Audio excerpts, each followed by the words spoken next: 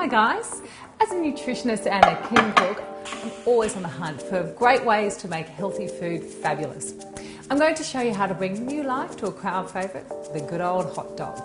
It's my hot dog and mustard avocado recipe and I know your kids are going to love it. See, avocados are a great addition to any kids' meals purely because they're full of nutrients such as B vitamins and folates and this is great for your kids' concentration.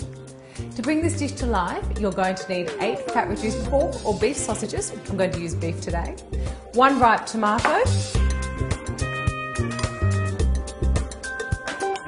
Just finely chop this, dice it up nice and easily.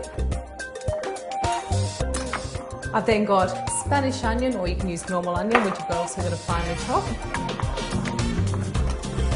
And I've got one tablespoon of the whole grain mustard.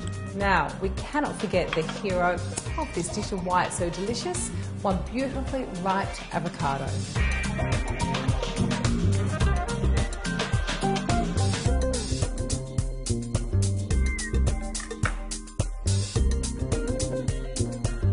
Now, if your avocado isn't ripened, simply pop it into a brown paper bag with a banana for about a day or two. This will quickly ripen the whole process.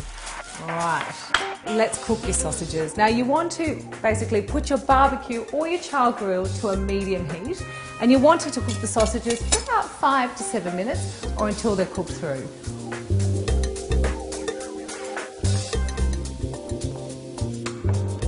These look perfect, don't they? In the meantime, combine the avocado, which I've de-seeded, I've chopped finely, and finally mix it with tomatoes, the onion, and the mustard. And we're going to mix this all into a medium-sized bowl.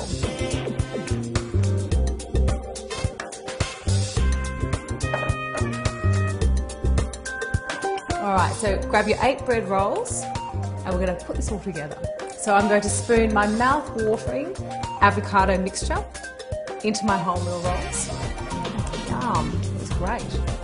I'm then going to put my beef sausages on top and a little bit of lettuce leaves. That looks fabulous.